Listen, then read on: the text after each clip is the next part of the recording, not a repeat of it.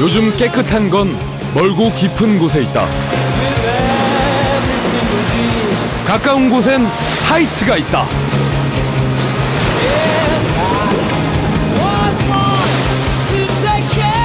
우리 만든 작품 하나 깨끗한 하이트